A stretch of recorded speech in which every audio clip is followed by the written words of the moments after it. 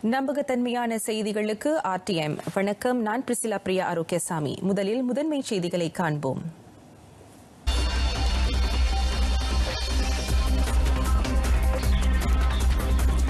அர்ஜுன் ரஹாவின் உடல் மாவீரர் கல்லறையில் நல்லடக்கம் செய்யப்பட்டது.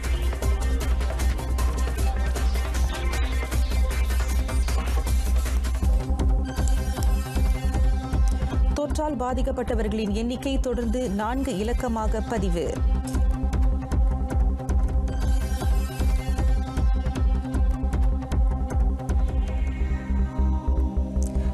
லட்சத்து எழுபத்து நான்காயிரம் ரப்பர் சிறு தோட்டக்காரர்களுக்கு பருவ மழைக்கால உதவி நிதி.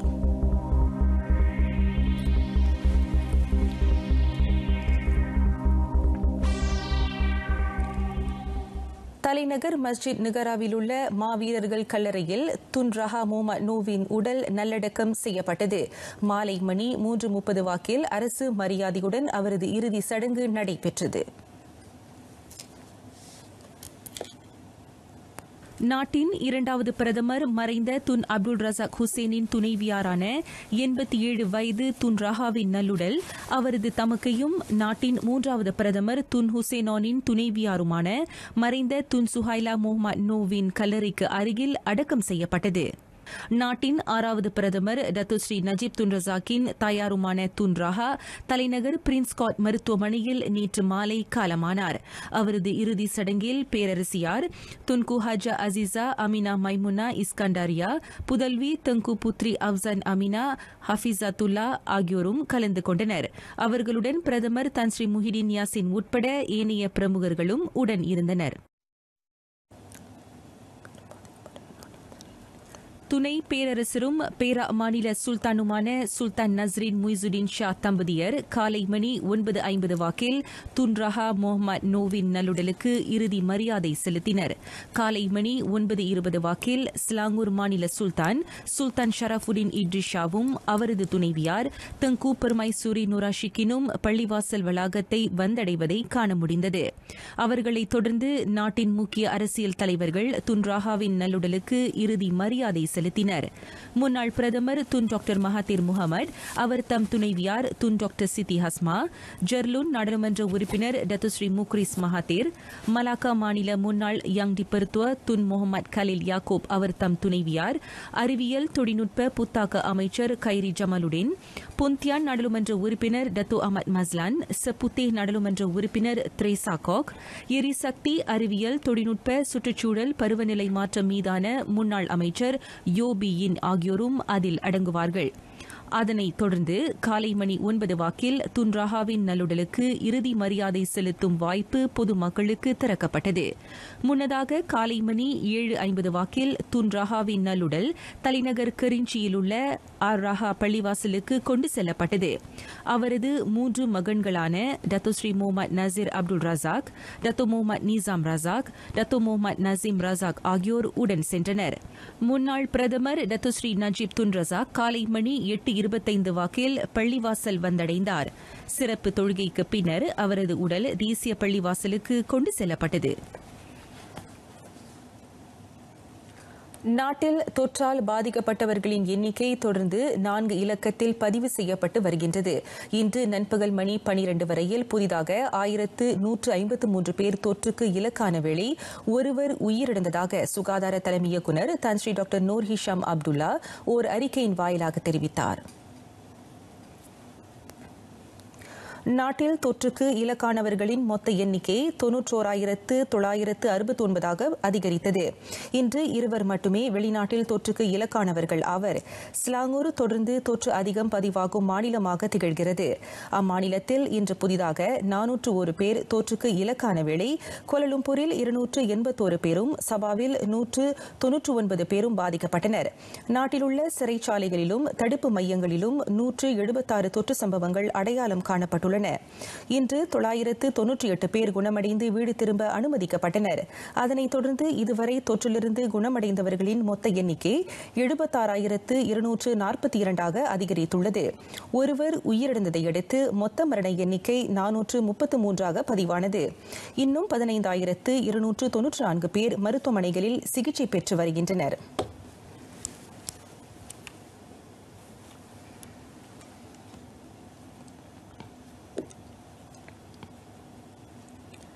நாட்டில் நடமாட்ட கட்டுப்பாட்டு உத்தரவை மீறிய இருநூற்று நாற்பத்தி ஒன்பது பேர் நேற்று கைது செய்யப்பட்டனர். அவர்களில் இருநூற்று நாற்பத்தெட்டு பேருக்கு அபராதம் விதிக்கப்பட்ட வேளை ஒருவர் மட்டும் தடுத்து வைக்கப்பட்டார். அதில் தூர இடைவெளியை கடைபிடிக்க தவறியதால் நூற்று முப்பத்தி இரண்டு பேர் கைது செய்யப்பட்டதாக பாதுகாப்பு விவகாரங்களுக்கான மூத்த அமைச்சர் Datuk Seri Ismail Sabri Yaakob ஓர் அறிக்கையின் வாயிலாக தெரிவித்தார். முகக்கவசம் அணியாத குற்றத்திற்காக அறுபத்து மூன்று பேரும் வாடிக்கையாளர்களின் வருகையை பதிவு செய்யும் உபகரணங்களை வைக்க தவறியதற்காக ஐம்பத்து நான்கு பேரும் தடுத்து வைக்கப்பட்டனர். எஸ்ஓபி நிர்ணயிக்கப்பட்ட நடைமுறைகள் பின்பற்றப்படுவதை கண்காணித்து வரும் அரச மலேசிய போலீஸ் படையின் தலைமையில் நாடு முழுவதும் இதுவரை நாற்பத்தேழாயிரத்து எண்ணூற்று பதினோரு சோதனை நடவடிக்கைகள் மேற்கொள்ளப்பட்டுள்ளன. தரை வான் கடல் போக்குவரத்து முனையங்கள் உட்பட பேரங்காடிகள் உணவகங்கள் சாலையோர கடைகள் தொழிற்சாலைகள் வங்கிகள் அரசாங்க அலுவலகங்கள் என பதினாறாயிரத்திற்கும் மேற்பட்ட இடங்கள் சோதனை நடவடிக்கைக்கு உட்படுத்தப்பட்டன. அந்நடவடிக்கையில் ஈராயிரத்து எழுநூற்று எழுபத்தி ஏழு அமலாக்க குழுக்களைச் சேர்ந்த பனிரெண்டாயிரத்து நானூற்று எண்பத்து ஒன்பது உறுப்பினர்கள் பணியில் ஈடுபடுத்தப்பட்டதாக டத்தோஸ்ரீ இஸ்மாயில் சப்ரியாக்கூப் கூறினார். இதனிடையே நூற்று பதினெட்டு ஓப்ஸ் பின்திங் சோதனை நடவடிக்கைகளின் வாயிலாக நாற்பத்தாறு கள்ளக்குடியேறிகளும் இரு இடைத்தரகர்களும் கைது செய்யப்பட்டனர். எட்டு தரை போக்குவரத்து வாகனங்கள் பறிமுதல் செய்யப்பட்டன. ஸ்லாங்கூர் செர்டாங்கில் உள்ள மயப்ஸ் விவசாய கண்காட்சி பூங்காவில் அமைக்கப்பட்டிருக்கும் கோவிட் நைன்டீன் தொற்றால் பாதிக்கப்பட்டவர்களை தனிமைப்படுத்தி சிகிச்சை அளிக்கும் மையத்தில் மொத்தம் பத்தாயிரம் கட்டில்கள் போடப்பட உள்ளன. அடுத்த வார தொடக்கத்தில் அந்த பணிகள் முழுமை பெறும் என எதிர்பார்க்கப்படுகிறது. அதிகரித்து வரும் தொற்று சம்பவங்களை எதிர்கொள்ள அந்த முன்னெச்சரிக்கை நடவடிக்கை மேற்கொள்ளப்பட்டுள்ளது.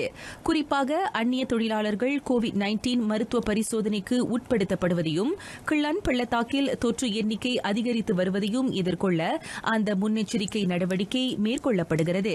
தொற்று அறிகுறி இல்லாதவர்கள் மீதமான அறிகுறிகள் உள்ளவர்கள் அங்கு தனிமைப்படுத்தி சிகிச்சை அளிக்கப்படுவார்கள் என சுகாதார துணை அமைச்சர் டாக்டர் நூர் அஸ்மி கசாலி தெரிவித்தார். அந்நிய நாட்டவர்களுக்கு மட்டுமே அங்கு சிகிச்சை அளிக்கப்படும். நோயாளிகள் மட்டுமல்லாது மருத்துவ அதிகாரிகளின் பாதுகாப்பிலும் நலனிலும் அம்மையத்தின் செயற்குழுவினர் கூடுதல் கவனம் செலுத்த வேண்டும் என டாக்டர் நூர் அஸ்மி கேட்டுக் கொண்டார் இம்மாதம் ஒன்பதாம் தேதியிலிருந்து மீண்டும் திறக்கப்பட்ட அந்த தனிமைப்படுத்தும் மையம் கோவிட் நைன்டீன் வைரஸ் தொற்றை கட்டுப்படுத்தும் அரசாங்க முயற்சிகளில் ஒன்றாகும். நாடு முழுவதும் ரிஸ்டா ரப்பர் சிறு தோட்ட மேம்பாட்டு வாரியத்திடம் பதிந்து கொண்டுள்ள இரண்டு லட்சத்து எழுபத்து நான்காயிரம் ரப்பர் சிறு தோட்டக்காரர்கள் பருவமழைக்கால உதவி திட்டத்தின் கீழ் முன்னூறு ரிங்கி நிதியை பெற தகுதி பெற்றுள்ளனர். அதன் தொடக்க கட்டமாக ஒரு லட்சத்து எண்பத்தி ஏழாயிரம் பேர் அந்த நிதியை பெற்றுக் கொண்டதாக அவ்வாரியத்தின் தலைவர் Datuk Mohamed Salim Mohamed Sharif தெரிவித்தார். அத்திட்டத்துக்கு தகுதி பெறும் சிறு தோட்டக்காரர்கள் மொத்தமாக அறுநூறு ரிங்கி நிதி உதவியை பெறுவார்கள். குறிப்பாக இரண்டு புள்ளி ஐந்து ஹெக்டருக்கும் குறைவான நிலத்தை கொண்டிருக்கும் ரப்பர் சிறு தோட்டக்காரர்களுக்கு மட்டுமே அந்த நிதி வழங்கப்படும். இம்மாதம் பதினைந்தாம் தேதி வரை முதல் கட்டமாக ஐந்து கோடியே அறுபது லட்சம் ரிங்கேட் பகிர்ந்தளிக்கப்பட்ட வேளை எஞ்சிய தொகை அடுத்த ஆண்டு ஜனவரியில் பகிர்ந்தளிக்கப்படும். நெக்ரி சம்பிலான் ஜம்போலில் ரப்பர் சிறு தோட்டக்காரர்களுடனான சந்திப்புக்கு பின் ஜக்காத் உதவி நிதியை வழங்கும் நிகழ்ச்சியில் கலந்து கொண்ட பின் டத்தோ முகமது சலீம் செய்தியாளர்களிடம் பேசினார். எஸ்பிஎம் எஸ்டிபிஎம் தேர்வெழுதும் மாணவர்களுக்கு விரைவில் சிறப்பு இணைய சேவை ஏற்படுத்தி தரப்படவுள்ளது. Celcom Digi Maxis U Mobile Telekom Malaysia ஆகிய தொலைத்தொடர்பு நிறுவனங்களின் கீழ் அச்சலுகை வழங்கப்படவுள்ளது. அடுத்த மாதம் ஆறாம் தேதி தொடங்கி மாணவர்கள் இருபது ரிங்கிட் கட்டணத்தில் முப்பது நாட்களுக்கு பதினைந்து ஜிபி இணைய வசதியை பெறலாம். எஸ்பிஎம் எஸ்டிபிஎம் தீர்வு நிறைவடையும் வரை லேர்னிங் ஃப்ரம் ஹோம் வீட்டில் இருந்தவாறே கல்வி கற்கும் திட்டம் நீட்டிக்கப்பட்டுள்ளது. எனவே மாணவர்களின் இணைய கற்றல் கற்பித்தலை முன்னிட்டு அத்திட்டத்தின் கீழ் நாடு முழுவதும் உள்ள மாணவர்களுக்கு இணைய திட்டமும் சிம் அட்டையும் இலவசமாக வழங்கப்படுவதாக தொடர்பு பல்லுடக ஆணையம் தெரிவித்தது. பி நாற்பது பிரிவைச் சேர்ந்த மாணவர்கள் அத்திட்டத்தின் கீழ் இலவசமாக கைபேசிகளையும் பெற்றுக் கொள்ளலாம். அந்த ஐந்து தொலைத்தொடர்பு நிறுவனங்களின் இலவச இணைய சேவையின் வாயிலாக கற்றல் கற்பித்தலை எளிதாக தொடர முடியும்.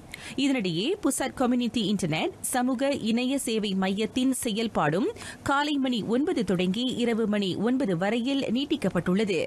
எஸ்பிஎம் எஸ்டிபிஎம் தேர்வெழுதும் மாணவர்களும் பி நாற்பது பிரிவைச் சேர்ந்த மாணவர்களும் தங்களின் அன்றாட கற்றல் நடவடிக்கைகளை இணையம் வாயிலாக மேற்கொள்ள அந்த வாய்ப்பு ஏற்படுத்தி தரப்பட்டுள்ளது. திருங்கானுவில் வெள்ள நிலைமை மோசமடைந்துள்ளது. அம்மாநிலத்தில் திறக்கப்பட்டுள்ள நாற்பத்தி மூன்று துயர் துடைப்பு மையங்களில் ஆயிரத்து முன்னூற்று எண்பத்தாறு குடும்பங்களைச் சேர்ந்த ஐயாயிரத்து நானூற்று ஐம்பத்து மூன்று பேர் தங்க வைக்கப்பட்டுள்ளனா் கமாமன் ஹுலு திரங்கானு டுங்குன் சித்யூ ஆகிய நான்கு மாவட்டங்கள் வெள்ளத்தால் பாதிக்கப்பட்டுள்ளதாக மாநில பேரிடர் நிர்வாக செயற்குழு தலைவர் சே. அடாம் அப்துல் ரஹ்மான் தெரிவித்தார். வெள்ளத்தால் மிகவும் மோசமாக பாதிக்கப்பட்ட மாவட்டமாக கமாமன் திகழும் நிலை அங்கு இதுவரை நான்காயிரத்து ஐநூற்று அறுபத்தாறு பேர் துயர்துடைப்பு மையங்களில் தங்கியிருக்கின்றனா் கிளந்தானில் துயர் துடைப்பு மையங்களுக்கு மாற்றப்பட்டுள்ளவர்களின் எண்ணிக்கை எழுநூற்று இருபத்தி ஒன்றாக அதிகரித்துள்ளது. நூற்று எண்பத்து மூன்று குடும்பங்களைச் சேர்ந்த அவர்கள் அனைவரும் இருபத்தாறு துயர் துடைப்பு மையங்களில் தங்கியிருக்கின்றனர். மூன்று மாவட்டங்களில் உள்ள ஆறுகளின் நீர்மட்டம் அபாய நிலையை எட்டியிருப்பது பப்ளிக் இன்ஃபோ பஞ்சேர் எனும் அகப்பக்கத்தின் வாயிலாக தெரியவந்துள்ளது. பினாங்கு பிராயிலுள்ள கம்புங் மணிஸ் கிராம குடியிருப்பாளர்களின் பிரச்சினை சம்பந்தப்பட்ட தரப்பினரின் கவனத்துக்கு கொண்டு செல்லப்படும். அக்கிராம மக்களை சந்தித்த பின்னர் மாநில மாய்கா தலைவர் டத்து எம் ஞானசேகரன் அதனை தெரிவித்தார். கம்புங் மனேஸ் கிராமத்தில் வசிக்கும் இருநூறு குடும்பங்களை அங்கிருந்து வெளியேறுமாறு கேடிஎம்பி நிறுவனத்திற்கு சொந்தமான நிறுவனம் ஒன்று அறிக்கை வெளியிடப்பட்டுள்ளது. ஆறு மாதங்களில் அவர்கள் அவ்விடத்தை காலி செய்ய வேண்டும் என அந்த அறிக்கையில் குறிப்பிடப்பட்டுள்ளது.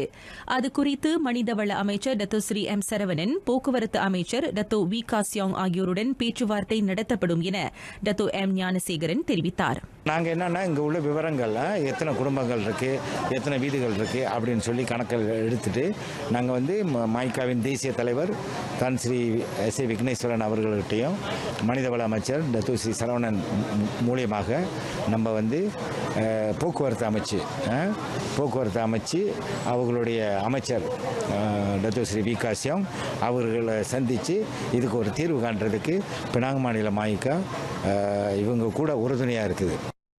கடந்த அறுபது ஆண்டுகளுக்கும் மேலாக கம்புங் மனிஸ் கிராமத்தில் வசிக்கும் மக்களில் பெரும்பாலானோர் பி நாற்பது குறைந்த வருமானம் பெறுபவர்கள் ஆவர்.